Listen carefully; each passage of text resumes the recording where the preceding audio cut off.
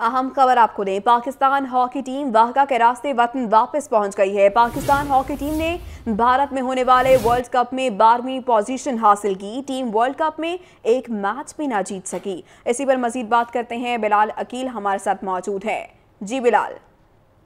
बिल्कुल world cup hockey में बदतरीन कारकर्दगी के बाद जो है वो कौमी हॉकी टीम जो है वतन वापस पहुँच चुकी है। कौमी हॉकी टीम ने भारत में होने वाले वर्ल्ड कप में बारहवीं पोजीशन हासिल की। तीन मैच खेले और उसमें शिकस्त हुई, जबकि चौथा मैच जो खेला वो ड्रॉ रहा।